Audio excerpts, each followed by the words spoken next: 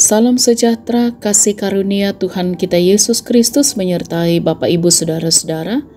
Jumpa kembali dalam renungan harian di hari Rabu tanggal 17 Januari 2024. Marilah kita berdoa. Bersyukur untuk hari karuniamu ya Tuhan, bersyukur untuk ruang dan waktu. Sejenak kami bersama-sama akan membaca dan merenungkan firman-Mu. Kiranya oleh kuasa Roh Kudus, kami dimampukan untuk memahami dengan benar dan kami berjalan pada kebenaran firman-Mu. Ampunilah dosa kami, dalam nama Tuhan Yesus kami berdoa. Amin. Injil Lukas pasal 18 ayat 15 sampai ayat 17. Yesus memberkati anak-anak. Maka datanglah orang-orang membawa anak-anaknya yang kecil kepada Yesus supaya ia menjamah mereka. Melihat itu, murid-muridnya memarahi orang-orang itu. Tetapi Yesus memanggil mereka dan berkata, "Biarkanlah anak-anak itu datang kepadaku, dan jangan kamu menghalang-halangi mereka, sebab orang-orang yang seperti itulah yang empunya kerajaan Allah. Aku berkata kepadamu, Sesungguhnya barang siapa tidak menyambut kerajaan Allah seperti seorang anak kecil, ia tidak akan masuk ke dalamnya. Amin. Tema renungan kita ialah Bawalah anak-anak pada Yesus, atau dalam bahasa Toraja dikatakan, Solanni tomai anak-anak talako Yesus. Saudara-saudara sahabat renungan harian yang diberkati oleh Tuhan, ada nyanyian Toraja yang berbunyi, Madomi ko kapua mu male melendong ba tumiurang. Sang tonti pelendongmu, sang bingka peurangmu.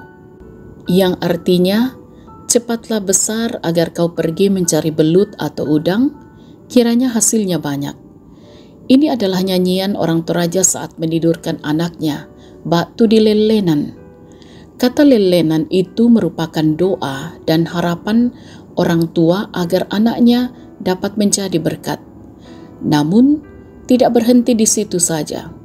Tetapi orang tua juga harus tetap mengajar anaknya agar doa dan harapan itu tercapai. Berkaitan dengan anak, bahan bacaan kita hari ini menyapa kita. Mari kita simak. Saudara-saudara, kisah ini sudah begitu sering kita dengar.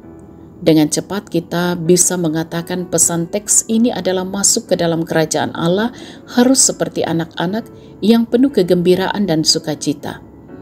Mereka yang tidak seperti itu tidak dapat masuk.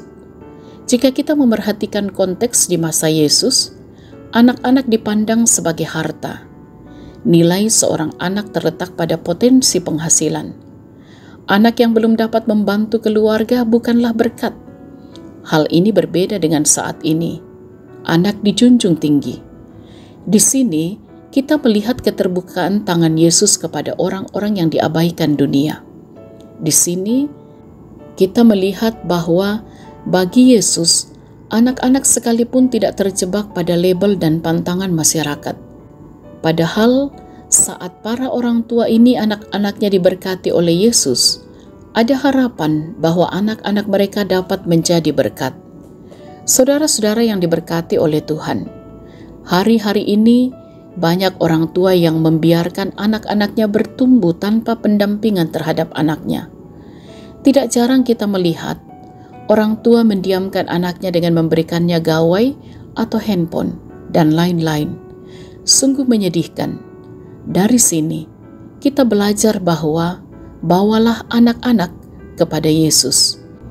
Jangan halangi mereka dengan aneka hal yang menghambat mereka menerima berkat dari Yesus. Roh Kudus menolong kita. Haleluya. Amin. Marilah kita berdoa.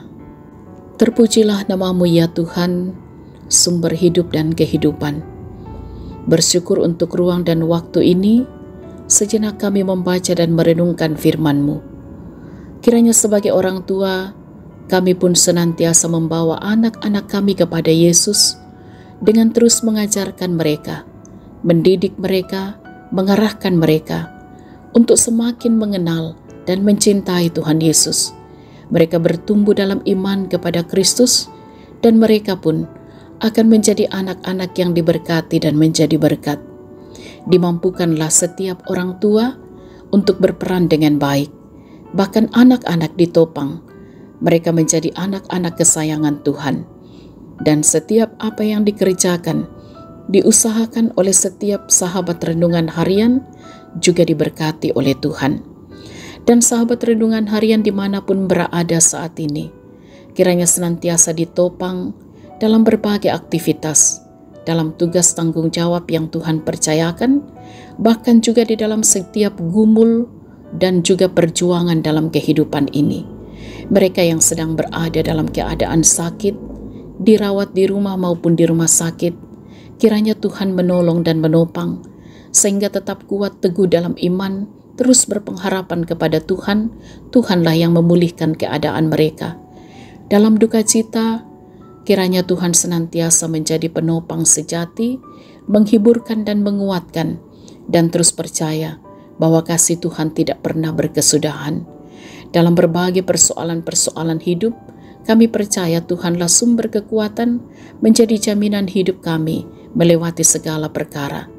Dan keyakinan kami bahwa segala perkara dapat kami tanggung bersama dengan Tuhan. Diberkatilah kiranya juga sahabat renungan harian yang boleh menikmati kasih Tuhan dalam pertambahan usia, ulang tahun perkawinan, ataupun apa yang boleh diraih dalam kehidupan ini. Kiranya semakin rendah hati untuk terus mengakui semua karena anugerah Tuhan dan juga mampu bersyukur dalam segala hal. Orang tua kami di masa tua mereka, kiranya mereka juga berbahagia dan bersuka cita di dalam Tuhan. Mereka terus yakin bahwa kuasa dan kasih Tuhan akan menopang mereka di masa tua, sehingga masa tua sekalipun tetap menjadi usia indah karunia Tuhan. Kami pertaruhkan kehidupan bangsa kami bahkan dunia ini. Dalam berbagai kemelut yang harus dihadapi oleh bangsa ini, kami mohon Tuhan yang berkuasa juga akan terus memberkati pemimpin-pemimpin kami sehingga juga tetap mampu memimpin bangsa ini dengan benar dan adil. Dan kami berdoa kiranya gerejamu terus hadir menyatakan kesaksian persekutuan dan pelayanan di mana pun Tuhan mengutus kehadiran gereja Tuhan menjadi kehadiran yang diberkati dan menjadi berkat. Kami pertaruhkan hidup kami sepanjang hari ini bahkan sepanjang hidup karunia Tuhan. Ampuni dosa kami, sempurnakan doa kami. Kami berdoa dalam nama Tuhan Yesus, itulah Tuhan dan Juru Selamat kami. Amin. Sahabat renungan harian yang diberkati oleh Tuhan, selamat beraktivitas hari ini, tetaplah semangat dalam iman Bersukacitalah senantiasa. Salam sehat. Tuhan Yesus berkati.